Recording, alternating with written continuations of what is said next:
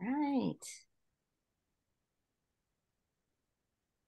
All right. Good afternoon, everyone. Um, my name is Rolina Ghosh, and I'm uh, one of the senior members of the parent education team. And welcome to the Power of Play. Um, this program is being hosted by the D103 Parent Ed team. Our team's goal is to provide you with quality parent programming content for the families of D103. Um, keep in mind that your PTO dollars are what support this programming. So if you're not a PTO member yet, please join. Um, our parent ed team this year consists of myself, Nana Adjaman, who's on the screen, um, Alyssa Banks, who's with us, Nina Geary, and Yu Zhao. Um, we're also extremely fortunate to be partnering for the last two years with the Vernon Area Library and Jen Ernstein, who is the Youth and Teen Program Coordinator. She's also our Zoom host for this afternoon's event. So a couple of housekeeping things. Um, please note that our chat will be disabled, but the Q&A will be open for questions. Um, please use the Q&A feature to submit questions for our speaker throughout the talk. But myself and the rest of the parent ed team will be monitoring these questions, which will be answered at the end of the presentation. Um, during the presentation, also, um, you can reference Dr. Isbell's handout, which you should have received yesterday from Eventbrite.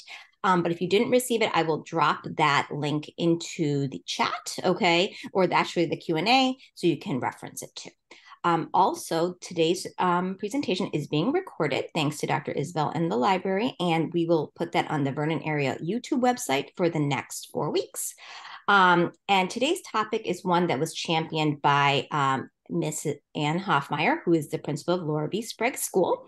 Um, Ms. Hofmeier has been in education for three decades. She has spanned the role as teacher, assistant principal, curriculum director, special ed, administrator, and principal. It's not a surprise that her favorite role uh, has been principal of Sprague, um, where she has served our community of pre kindergarten to second grade students for the last seven years.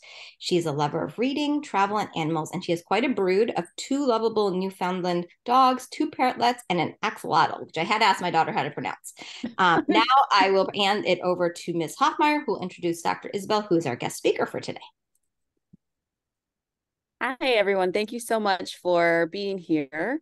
Um, we really appreciate you and your time spent. Um, Dr. Isbell is, I'm sorry, my computer just went down and I can't find her intro. I'm, um, but the reason why we chose to have her here is because she is an expert in play and um, something that is really important to the Sprague community as well as to um, our teachers and our students is the power of play and being able to infuse play within the classroom and to have opportunities where I can have um, we can see that that is something that is engaging to students. So thank you so much for being here, Dr. Isbell. We really appreciate you. And I'm going to ask you to speak a little bit to yourself and your expertise because my I lost the power to see anything other than you or your lovely face. But thank you so much for being here. I appreciate you being here. Thank you. Thank you. Um, well, I, I, always feel a little embarrassed to talk about myself, but um, I have a long history in early childhood um, and um, started out as a teacher in the classroom and then worked with gifted and talented and then moved into having working toward a graduate degree while I was teaching and becoming a professor of early childhood uh, at East Tennessee State University. Uh, here, I also was the director of the lab school, which was an early childhood program, infants through five. And then during that time, I became the director of the Center of Excellence in Early Childhood for the state of Tennessee. Um, I've also written 13 books. And what I wanted to share with you today that I think is really important is I am a parent. Um, and I have raised two children uh, who are now adults and who I have been through all the trials and fire, fire burning that you as parents have to go through. Uh, and let me tell you, the end is, is great and it is a great joy, although we do have our moments of difficulty. I thought it might be interesting for me to just share one uh, parent moment, just to say that we're all human. Um, when I had when I was at home for three years with a two-year-old and a brand new baby, um, I they were 19 months apart. I was tired, as most of you probably are. Uh, and so uh, I was sitting in my chair, and, and by necessity, there had to be a nap. It wasn't a, really a nap, but it was a quiet time. Um, and my son, who was very active and has always been, uh, he would go in his room and he would be uh, active and quiet.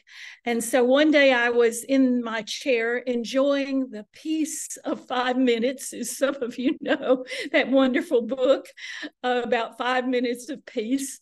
Um, and I was enjoying it, but as, a, as any mother wouldn't do, I knew that if he was quiet, there was probably a problem. Uh, but I didn't want to go too quickly because I was really enjoying the quiet time. Uh, and so when I did go to his room, I opened the door for his room, and he was at the time three. And I and he had taken a permanent magic marker. How do we they find those? It's like that they can smell out the permanent ones.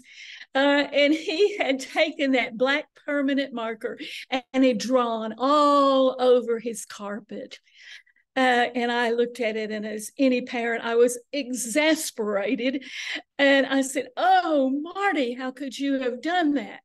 And then the great way that children, young children, always answer us with their very special way of saying it. He said, I couldn't find any paper.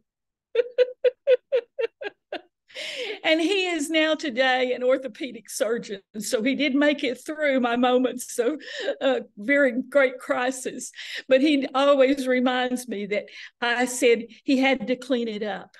And so we both together got on the floor with rags and were scrubbing. And he would look at me. He said, I tired, mommy. I said, scrub, scrub. and as a child, he always says to me, Mom, it was forever that I was scrubbing. Uh, and of course, it was just a few minutes, but he did survive and he did become a very nice person and very capable. But, but he had his moments, as all children and parents do. So I just wanted you to know before we talk about anything else, I've been there, done it, and can tell you not only the trials of it, but the joys of it after it's over. So let's get started with our presentation.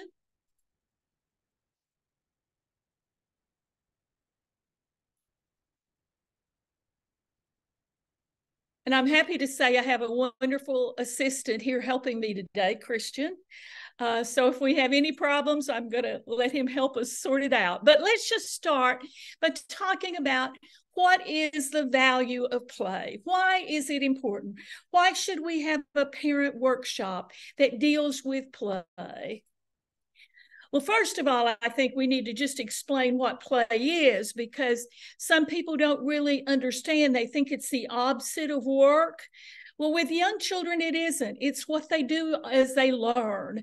And play is active as young children are, it's spontaneous, it brings them joy, it is self initiated, it's intensively involving, and it's an avenue for learning in so many different ways. And I'm going to share with you some of the ways that play helps their learning. These are just some home pictures from children playing in their home. The little boy on the left is rolling a ball into a, a laundry basket. And notice that the ball is big because when you have a young child, the bigger the ball. As they get older, they can have smaller balls. But young children, because their coordination is developing, they need big balls to use. The little girl on the right is a preschooler and she's already into using blocks. And and lining them up and putting them, sorting them. And the little girl on the left is doing imaginary play, which is so important for development. And then in the middle, siblings who are actually, for one time, enjoying each other's company. And then to remind you that babies play too. One, of the baby here is hitting at a mobile. And what he finds out is that if you touch the mobile, it moves. And he is so excited about that possibility. So he repeats that motion over and over and over. And during the time he's doing it, you can see that he really enjoys it because he laughs. Uh, one of the things that we note with play is it is an enjoyable activity.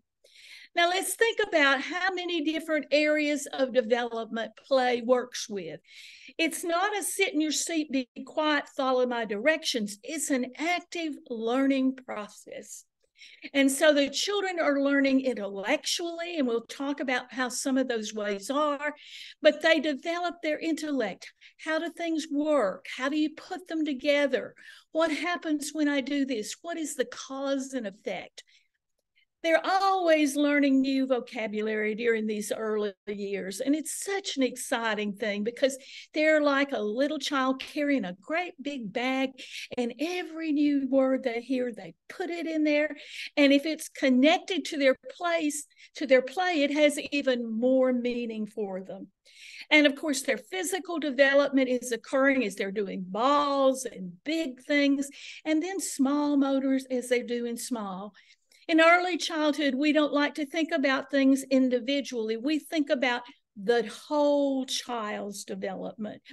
And of course, one that we know is so critical and has always been a basis of the early years is social skills. How do you develop social skills? How do you learn to get along with other people? How do you learn to work with people? There's a, lot of other benefits of play as well. And one of them is that it helps reduce stress. Now, some of you may say, Well, I don't have any stress. Uh, the child, I am the one with all the stress. The child really doesn't have any. But it's amazing how stress uh, plays with children. And one of the ways that we deal with trauma or problems is through play therapy, because in play, the child is able to work out their problems. They're able to try it one way and then another. And then they develop empathy. How do I feel about you? How do I feel about the world? Can I be empathetic? Now, it's important for us as parents to re- realize this doesn't happen overnight.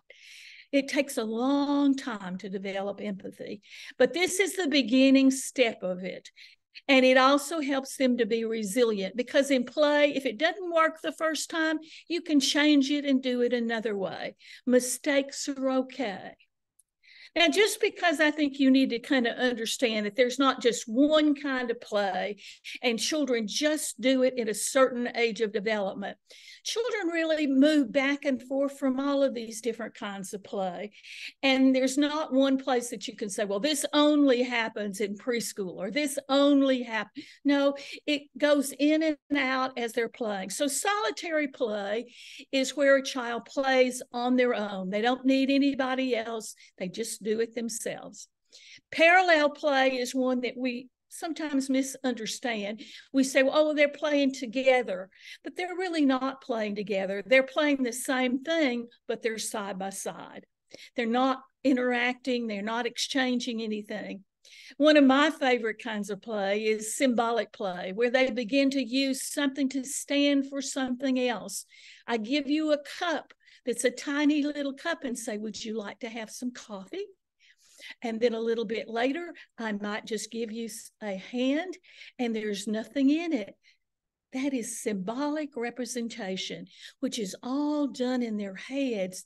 And symbolic representation is the foundation for language, for reading, for writing, for mathematics. It is such an important ability. And we see that developing all during those early years, all the way from infancy up to third grade. And it and it still continues to do, but our focus is zero to eight. Sociodramatic play is a very high level of play, and that's where the child takes on the role of somebody else. And it's often mother and father in the beginning, or grandparents, or someone that's important in their lives. I walked by the home living center one day, and a little girl had a sticky note that she'd put on the refrigerator. And I said to her, What does your sticky note say? And she says, I'm going to be late, start dinner. And I had to laugh because I thought of how many times that had happened to me and probably happened to you too, where we have, we're late, we have to think about dinner, we have to think about how we get that done. Functional play is something like riding a tricycle, being able to roll a ball. Those are functional kinds of play. And the, the highest, it's not really the highest level, but it's the last one in developing, is games with rules. And that usually doesn't come until children are about seven or eight, nine. It's not really in the early years. I had a parent one time at Christmas time who said to me, I'm really concerned. My little boy cheats.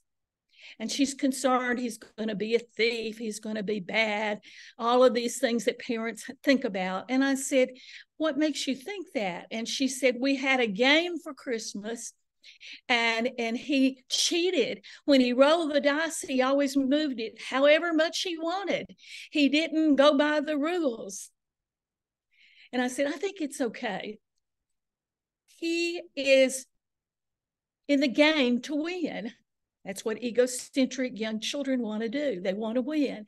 And when he gets a little older and he has more maturity, he will be able to work with rules that somebody else set up. But right now, he has his own way of playing, and he's not going to grow up to be a thief or a crook. He is just playing at his level of development. So these are some of the different types, but they go in and out of it. There's not one time that they're always there. And then they have different areas when they're different ages and different stages. For instance, an infant plays with himself.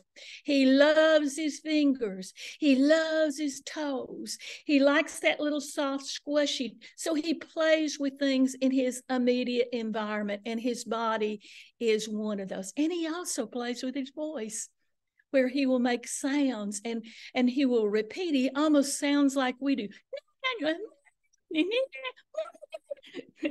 so he plays with his voice. And when he's enjoying it, he'll go, and he'll laugh in it. So you know he's enjoying the play. In toddlers, we begin to see them developing a reaction and interaction with toys or materials. I, I, think of them more as materials rather than toys.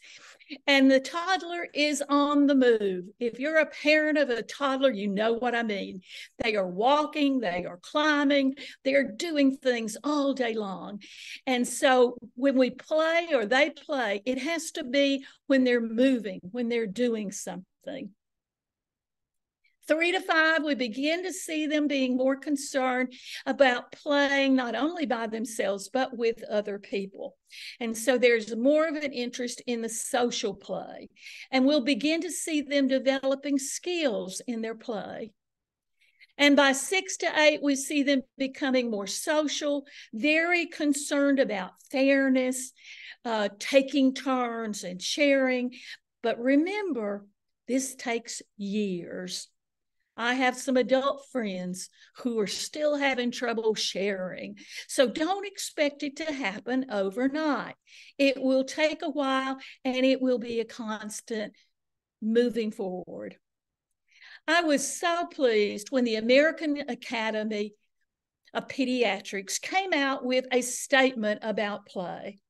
And as a parent and as an educator, it was great to know that pediatricians agreed with us and we're on the same page with how important play is for a young child. And I'm going to read it to you because I want to use their wonderful words. Play is essential for helping children reach important social and emotional and cognitive milestones. Isn't that a wonderful statement? Yes, true. But they went on to say, it is also helpful in developing the ability to cope with problems and issues that they have to deal with, and it will strengthen their ability to adjust. And as you and I know, life is filled with adjustments. I put this in your handout. So if you wanted to use it or think about it again, I'd like for you to review that idea. Lots of wonderful minds have talked about the value of play. Albert Einstein said, My best ideas come when I'm playing. He not only valued it for young children, but he valued it as a scientist, as a way of coming up with new and innovative ideas. And then our neighbor, he said, play is often talked about as if it were a relief from serious learning. But for children, play is serious learning. Did you get that? For children, play is serious learning. Now you say, well, okay, that sounds pretty good. I guess that's an important thing to include in my child's life. But how do I get started? How do I make that work? And I added just a few points that I think will help you get started and to think about. Before you jump into their play, I think the first thing you want to do is just observe their play. What do they enjoy doing? What are they playing? How are they playing? And when do they invite you into their play? Show an interest in their play because if if mommy and daddy and granny and other people are interested in play, it must be important. And so you are reinforcing that. Give them feedback as they're doing play. Don't just say good job, but make your comments relate to what the child is doing. There's your gro- vocabulary growth. You're pouring the water. Look what you did. You're making comments that connect the words to the actions. This is the best learning for language that we can do. You can also extend play, offering new materials or offering, offering new possibilities. If your child is playing with cars, you might ask a question Which of your cars is the fastest? How can we make it faster? Would you like to add another car to your play? It's important for us to realize that this is children's play. We want to follow their direction. Play and learn alongside your child. Your child is watching you. One of the things about young children, because they are in the process of developing language and it's not complete yet, is that they learn by watching you, often more than your words. So when you make a new discovery when you're playing with them, comment about, oh, I didn't know that. Gosh, look what I just learned. We want our children to recognize that learning is a lifetime process and that it is exciting. Several people ask about materials, and I'm going to kind of hedge a little bit on this one because I think it's important that you remember that young ch- children are in the process of learning about their world. So everything is a potential toy. Household materials like pots and pans, toilet paper in the bathroom, open ended materials. That's the best. Those are ones that can do a lot of different things, like stones or clay, or materials that can be used how the child wants to use it. And sometimes we want to include some unique materials, something they haven't ever seen before. And one of the things about how the brain works for young children, they seek out unique and, und- and unusual things. Twigs, acorns, corks, things you might not even think about as being play materials. Now, one of the things that we can do as parents is to set up little areas in the corner of a room or in a closet or somewhere where a child can play quietly on their own. And some of the areas that I've seen work so well in homes are dress up areas, And I'll talk about each one of these as we look at this. Find a place in your home where you can put old hats, dress up clothes, all kinds of intriguing things to try on. And this is one guaranteed place children will enjoy playing. It can be on their own, it can be with you, or it can be with a friend. But the dress up area has so many possibilities, and it's so easy to set up in a corner, and you can stand back and watch your child create. One of my favorites is the building and construction area. Boy, I've picked up a lot of Legos over my life. And what I want you to think about is, is how can you have blocks and building materials in your in your home? What can I set up? Where can I put it? And it's also important as we think about these play areas to re- realize that we want to develop responsible behavior in our children as they're playing. So one of the things that we need to do is include them in the cleanup.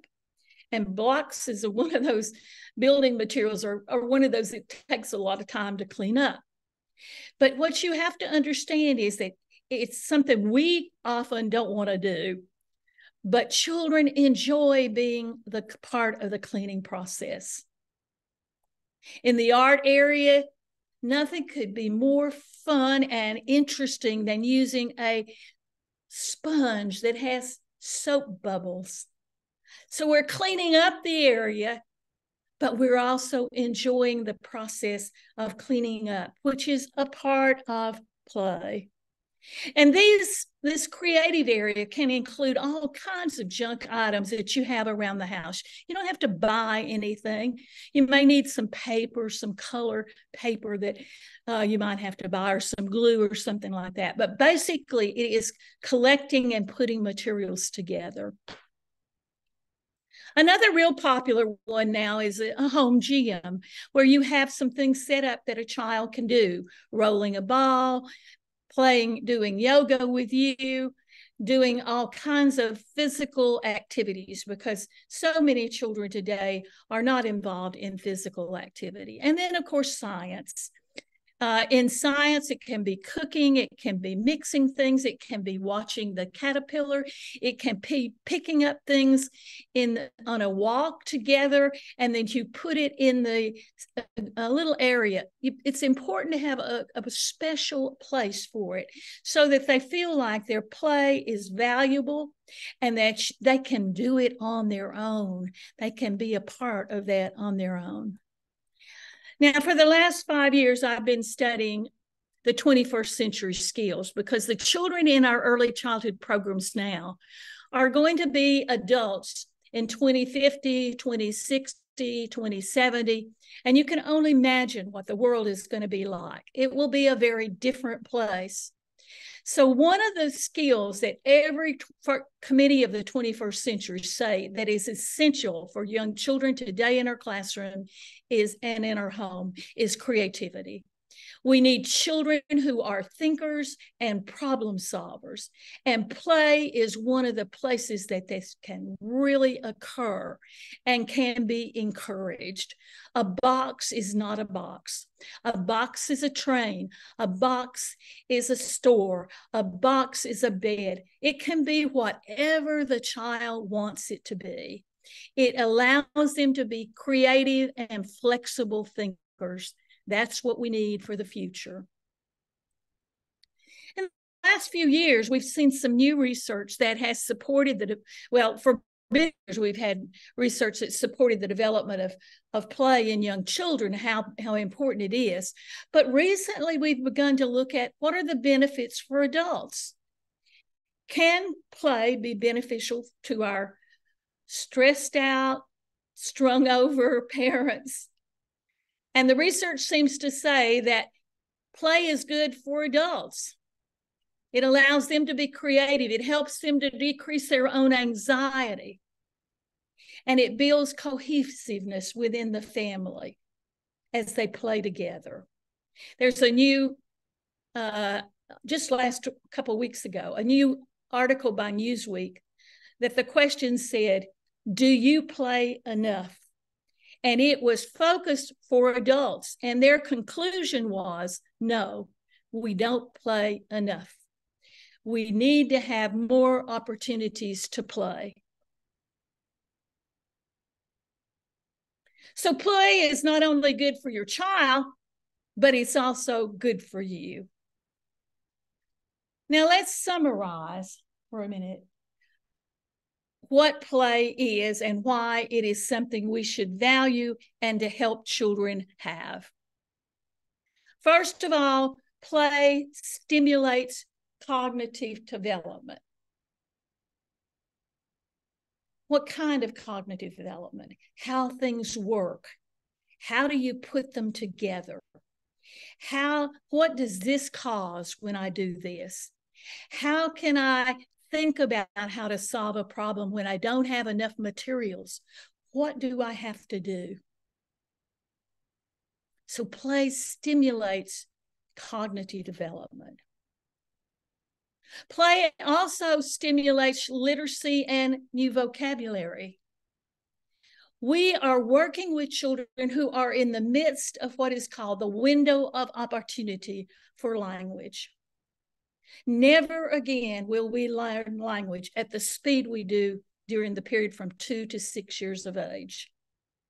A child goes from just a few words to the time that many of them enter kindergarten, they'll have thousands of words. And of course, it varies from child to child.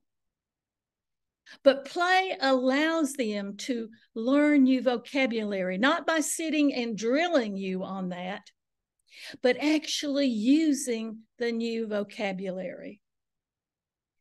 This is really interesting research. The best language is when it accompanies activity. And in play, the child is an active learner, participating in their learning, guiding the experience, leading you in their play. It provides opportunity for their physical development rolling a ball, moving their bodies, playing both indoors and outdoors. And we've we're seeing a new emphasis on outdoor play because we know children play differently when they play outdoors. We know that in Finland, in every hour a child is in a program, 15 minutes of that time is spent in physical activity. What we need to think about more is adding more physical activity in our early childhood classrooms and in our homes, because this is how children refine and develop their skills. Now, children practice and use social skills during play. Now, I want to just really expand on this because most of us think that children know how to take turns. They know who's going to lead. They know how to let somebody else be a part of the process. But really, all of that is, is a learning thing. And what we found from the research during COVID was that children were often being in, in homes with not very many people to interact with. And so their social skills, when they came back into a program, were delayed. Not because they weren't social human beings, but because they hadn't had opportunity for social interactions. So think about how you can add more social opportunities in your home. Can it be to ask another child over for a playtime? Can it be to ask grandma over to play because grandma and child will love playing together. And they will learn how to work together in that play experience. They will learn to take turns. They will learn to let the other person lead and sometimes be the leader themselves. And so this adjustment and opportunity helps them. Play also reduces stress if your child has, which more and more children are having at earlier and earlier ages. When I first began teaching, children had school anxiety at fourth grade. Now we see children being more anxious earlier and earlier. And so we want to help them understand how to reduce that stress, how they can do things that will help them be more competent, more relaxed, more calm. And play is one of the places this can happen. I watched a little girl rocking her baby, and she was pretending to be the mother. And another little girl was making the sounds for the baby doll. And the baby doll was screaming in a high pitched, horrible voice. And the mother was trying to calm her, trying to calm her and nothing would calm her. She got her up, she walked her around, she did all the things that she had seen maybe her own mother or a caregiver do. But what she did, the mother that was the little girl that was doing this sociodramatic play related to the mothers, she put her hands to her head and she said, I don't think I can stand another minute of this.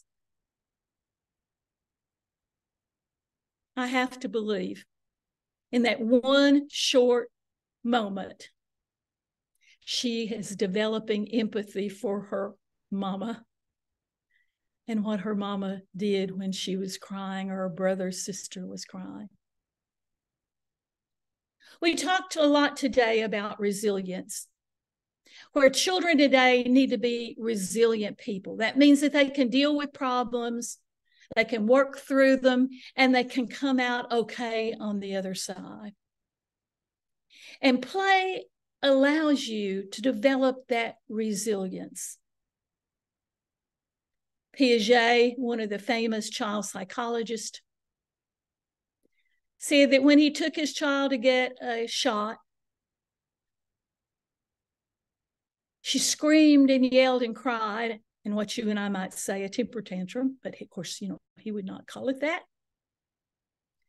And he said she came home, she got her doll, she got a stick, and she began to give her doll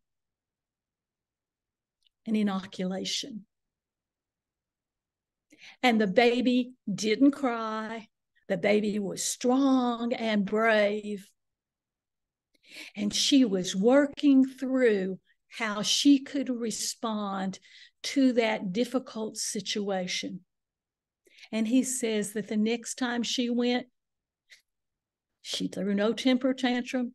She took the shot and she made a comment about how brave she was.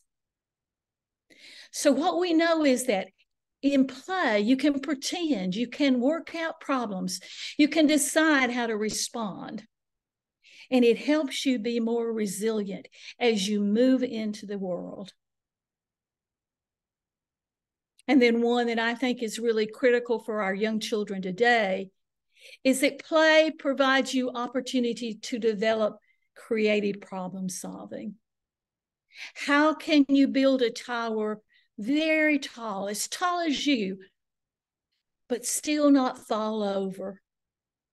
How can you stretch it out so it's wide and wide, but still represents a garage parking lot? So, play provides you an opportunity to be a problem solver and a creative thinker. I want you to think about play in a new way. Don't think about it as something I have to get my child to do. I have to do it with them. What I want you to think about is how wonderful it is, what a great learning tool it is. And relax, enjoy it, and build a wonderful relationship with your child. Thank you. I need to leave that last slide up.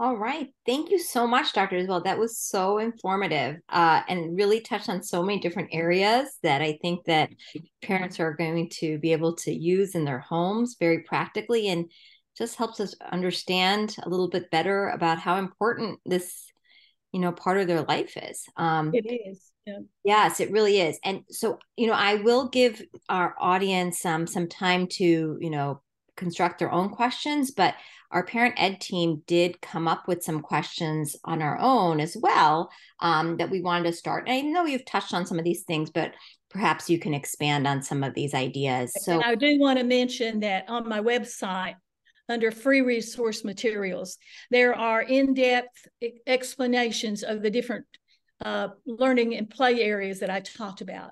That's and so amazing. as a parent, you can go on there, get a copy of one of those, and it kind of gives you an idea about what materials to collect, what you can do to set it up and make it a really special place.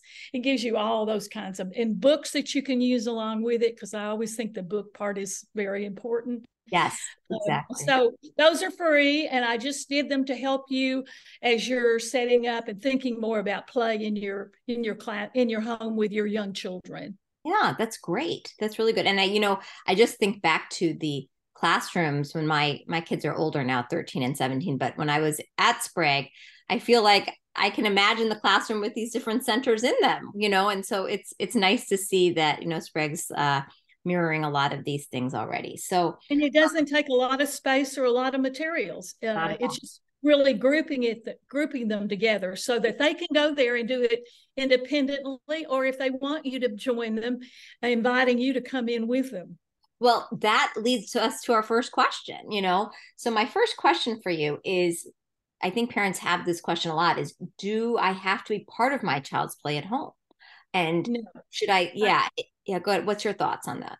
Well, I don't think you have to, and if, and I think that first of all, if it's not a joyful experience for you, you probably don't want to go into that. because the whole point of play is that it's joyful. Right. It brings the child joy.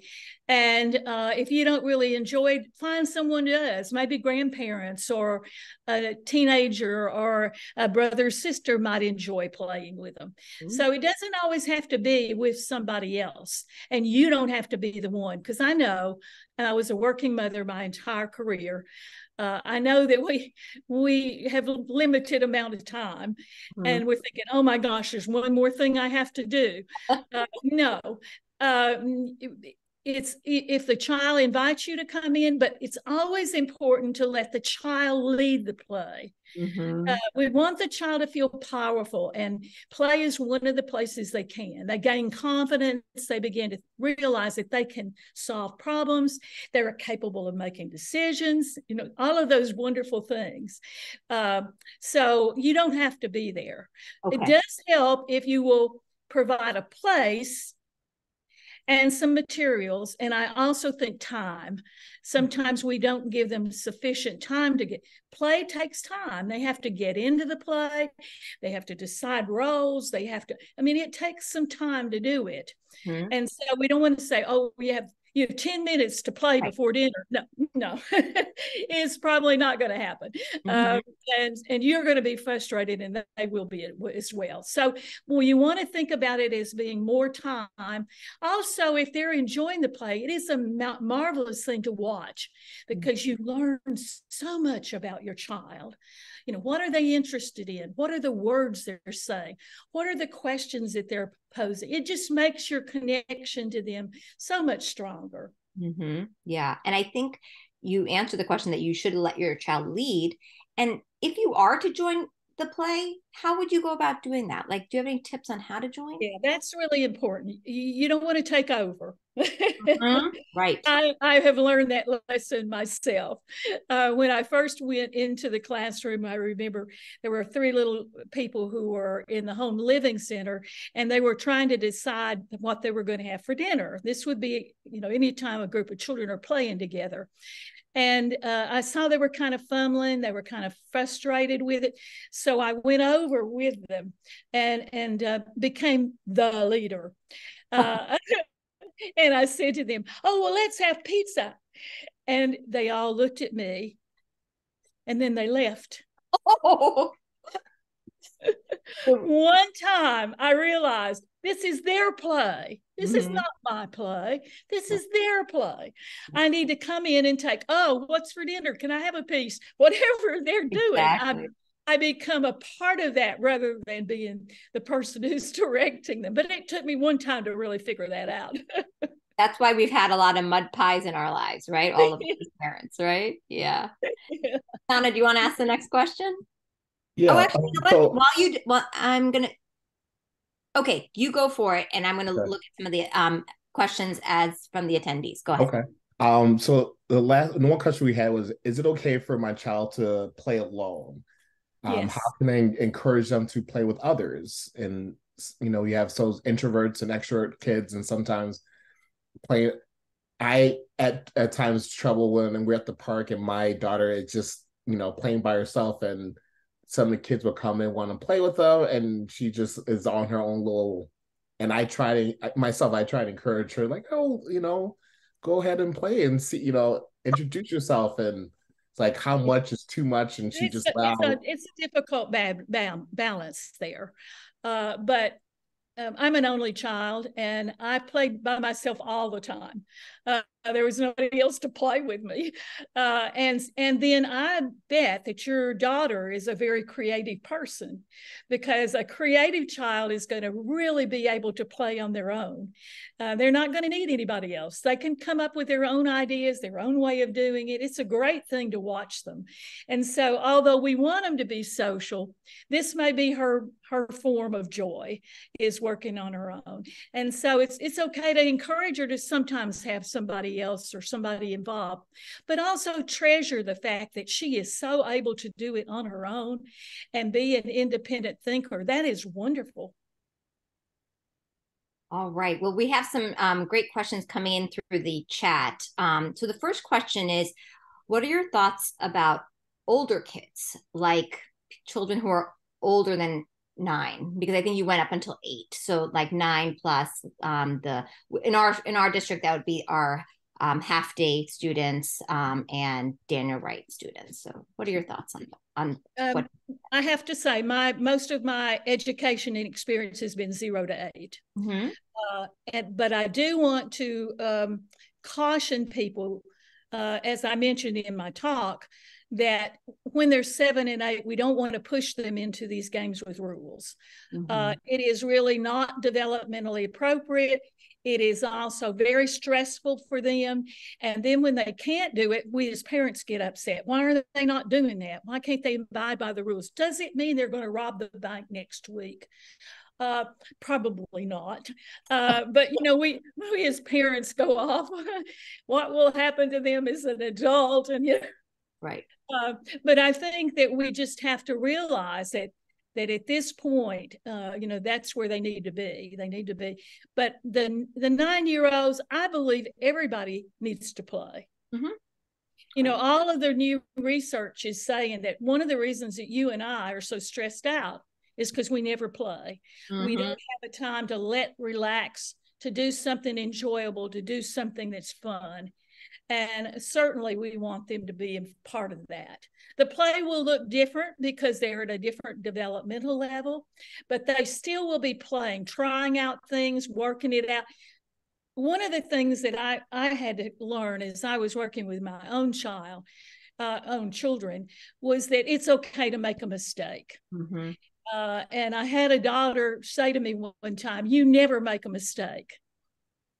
And I just had to laugh uh, because I make mistakes all the time.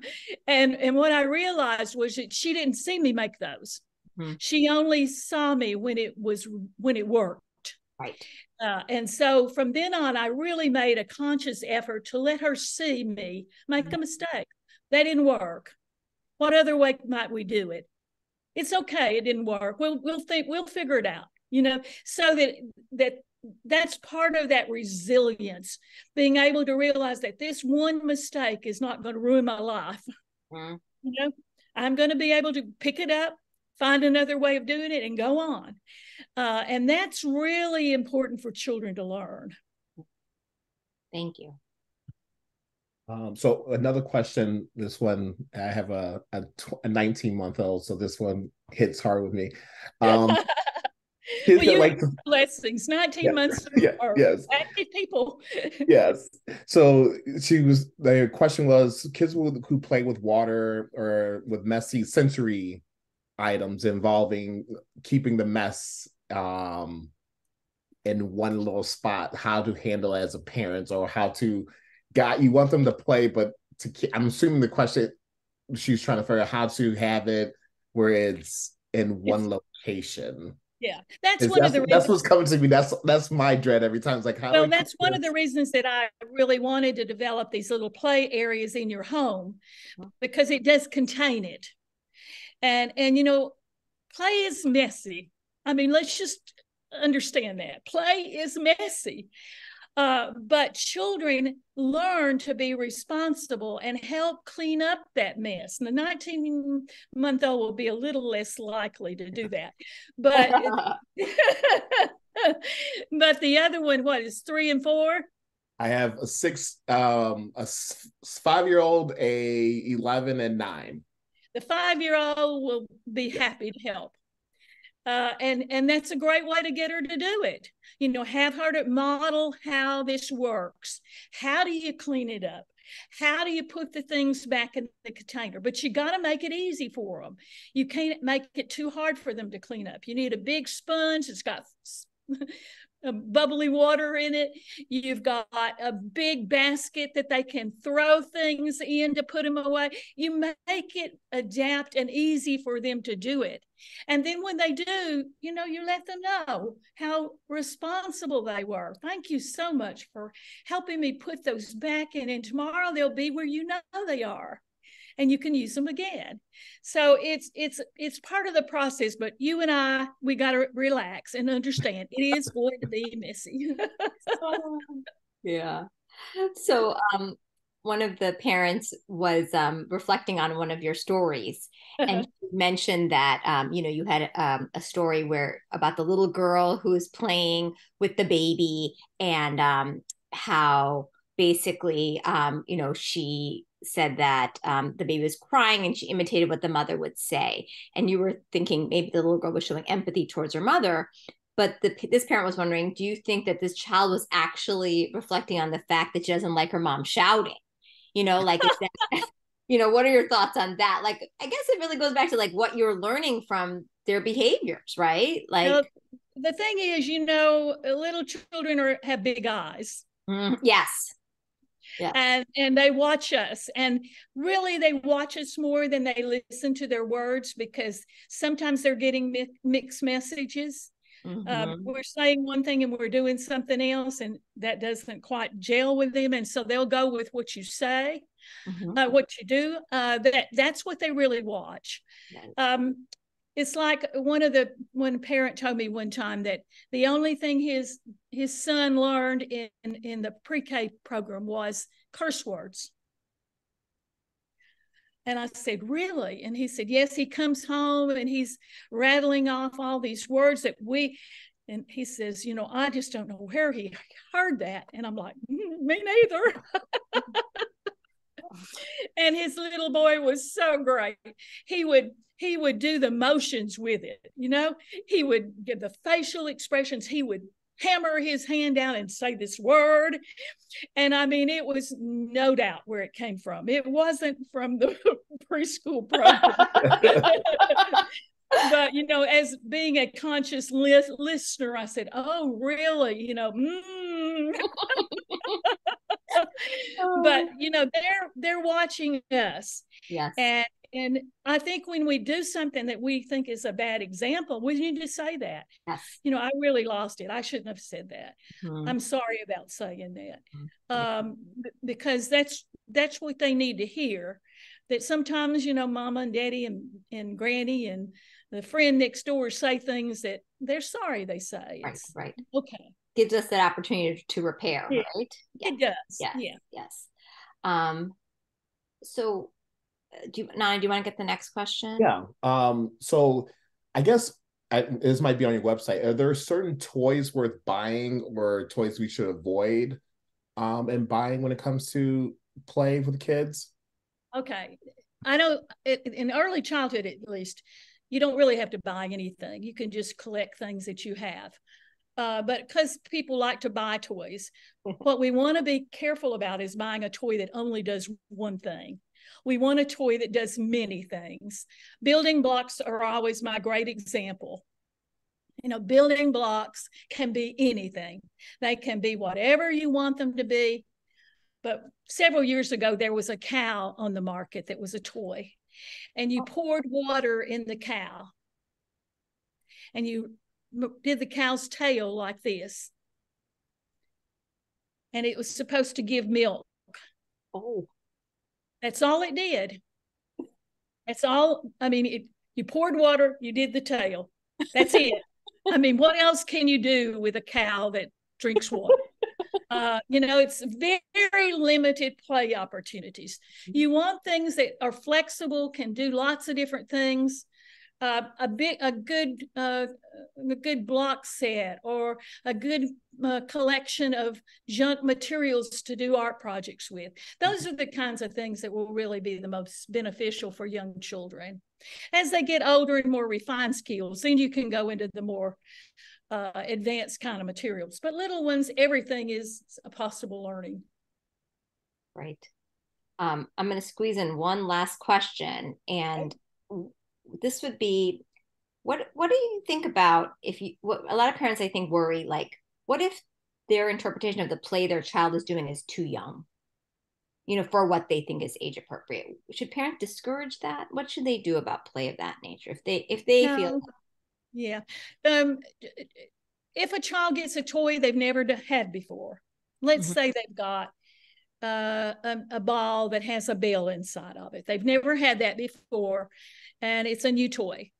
And so the first thing they have to do is explore it independently. They may be four years old, but that is what they have to do first. Mm-hmm. They have to explore it. And so, whatever age they are, they can go through all of these different kinds of play. So, I think it needs to just be relaxed about it. There isn't a certain age and a certain kind of play that a child should be doing. Um, that's why I wanted you to have in your handout all the different kinds of plays there are. Uh, my favorite has always been socio-dramatic play, and I've done a lot of research on that uh, and watched children play and do those things. But it, it's just one of the ways that you can play. Okay. We have one more question from the um from our audience. It says, okay. "My seven-year-old always asks me to be part of their play. How? Sorry, I lost my. Uh, how to make her more independent? Hmm. I would I would go in very gradually. Uh, I would not take a leadership role. I would let her know that she's in charge. I'm following her leadership. Uh, and then when the opportunity comes available, when it seems like she's carrying on by herself, then I move out. I get out of the play so that she can go ahead and, and do it on her own. And then I may come back and say, oh, I see you've done, you know, and I talk about it. So I don't just leave them unattended. Hmm uh, and say, well, well, they're they're all, they're okay, they're playing. Now, I want to encourage that. Oh, you did that on your own. I'm so proud of the way you thought of that idea. You know, so that you you are gradually going out, not just abruptly. Uh, I think that works best with most children.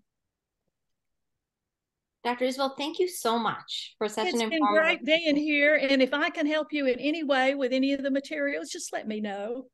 Well, we appreciate just the fact that you took so much time to make a presentation just for our families, you know, and um, we really enjoyed uh, your talk. I think um, Jen is going to, you know, it was just so informative, and I'm sure uh, Ms. Hofmeier will be, you know, mm-hmm. referencing your talk for some time. So it was well, music to my ears. It was so validating, and yes. it was the you were perfect for us. I really oh, appreciate so it. Glad. Well, that's a great thing for me to know. Thank you so much. Thank you. Well, keep then, up the good work. Oh, that's awesome. And then Jen Ernstein's going to um, post a slide for our next event. Um, we are finishing up with um, this event and moving on to our other programming for the year. Um, we have two programs coming up. Our next one is with Devorah Heitner, um, and she is a social media guru and really has helped us in the past. And she has just published a book um, titled Growing Up in Public, and she's doing a program for um, ourselves, Stevenson High School, D102, um, and D96. And we are looking forward to hosting her on October 11th at 7 to 8 o'clock. We are, um, the registration for that program is open. And then um, later in the um, year, on November 15th, we are going to be having a program um, called The Power of Belonging. And this program is going to be um, piggybacking on some survey information that we've collected about how fostering a sense of belonging can lead to school success. Um, and we are excited to have Sabrina Rahman be presenting in this presentation. So we hope to see um, families at these presentations as well. But um, for today's program, thank you again, um, Dr. Isbell. Thank you, Ms. Hofmeier, for providing us with this wonderful idea for this topic. Um, and I think hopefully it has left parents with a lot of great ideas and reinforcement of the messages you already reinforced. So thank you.